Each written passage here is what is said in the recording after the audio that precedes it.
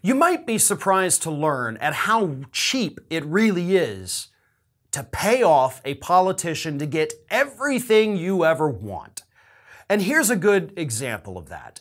Last week, when Democrats were trying to get uh, a right wing Democrat Senator Kyrsten Sinema to support the Inflation Reduction Act, she had one demand. And that demand, of course, was you take out the language that would do away with the carried interest tax loophole for major Wall Streeters, hedge fund investors, and all kinds of folks like that, which according to the legislation, would have raised $14 billion over the next 10 years. But Sinema said, uh uh-uh, uh, i am not going to support this legislation if you're going to very modestly raise taxes on these individuals. And Democrats, needing a win, caved in and they said, all right, all right, Senator Sinema, we will take out that legislation, which, by the way, or, or not legislation, language. That language, all it actually did was expand the length of time that you had to hold on to an investment in order to claim the tax credit. Basically, you get taxed at 20% instead of the usual 37%.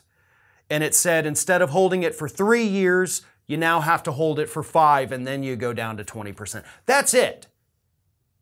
Like it was just expanding the timetable a little bit and raising their taxes a little bit on their capital gains.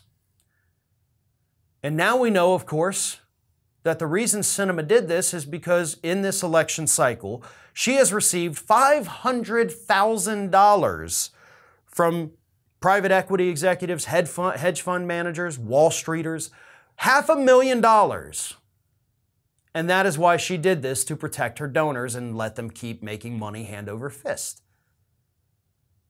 Now, this is not surprising. We know that Kyrsten Sinema is in the pocket of special interests, just like Joe Manchin and so many other politicians on the right and the left.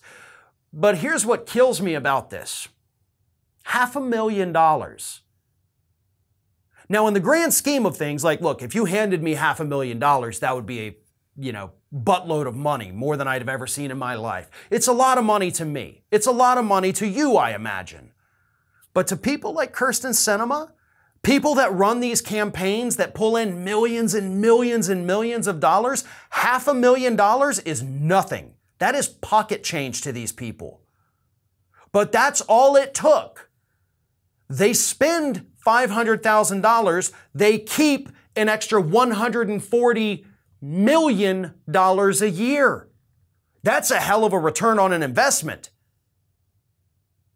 And apparently, Sinema is relatively inexpensive. $500,000 to buy her loyalty to kill that very modest tax increase on millionaires and billionaires. They made out like bandits on this. And she gets half a million dollars. So it makes me wonder, right? We could all raise half a million dollars.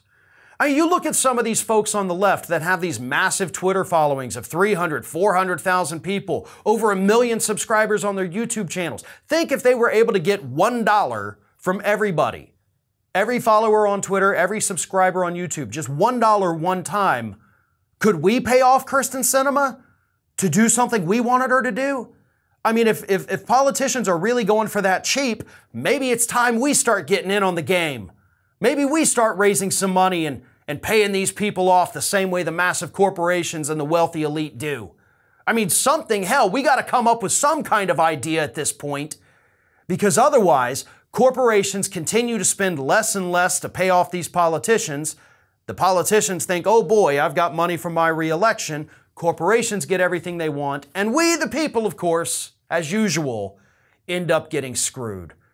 I would think we could find 500,000 people to donate a dollar apiece, and maybe we can start, you know, funneling money to politicians and getting the good things we actually need to make our lives a little better. This is Hattie. Hattie wants to know why you have not subscribed to our channel. You obviously like our videos, so do us a favor and subscribe.